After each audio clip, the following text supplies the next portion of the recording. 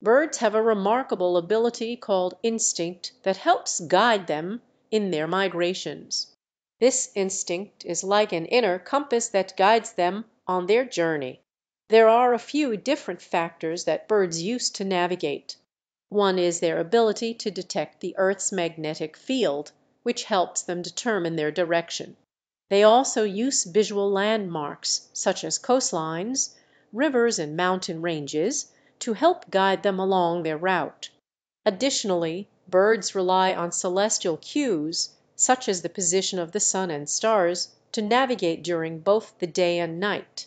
Scientists believe that birds also have an innate sense of timing that helps them know when it's the right time to start their migration.